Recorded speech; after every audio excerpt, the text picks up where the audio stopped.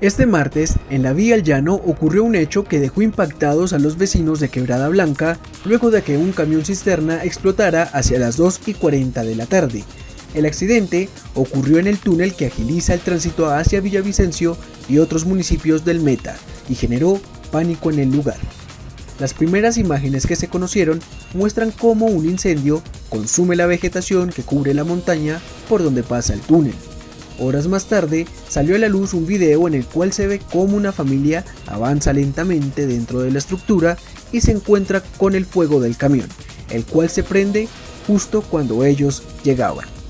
Este accidente ha producido retrasos en la movilidad y trancones interminables. Las autoridades encargadas ya hacen control en la zona y se asegura que estará cerrado el paso hasta que se evalúen los daños en el túnel lo cual es una muy mala noticia para este importante corredor vial en plena época de fin de año. Finalmente, el conductor del camión accidentado tiene quemaduras en el 85% de su cuerpo a causa de la explosión. Vale la pena mencionar que este hombre perdió el control del vehículo, el cual iba cargado con nafta y se volcó en un accidente cuyas causas son investigadas por las autoridades.